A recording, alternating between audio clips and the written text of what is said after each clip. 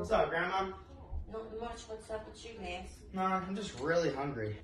Why are you eating dirt? Mom told me I gotta eat more plants. She probably not eat more greens, not dirt, you fucking asshole. Oh, You're gonna get so sick. that- You need to go see a fucking psychiatrist.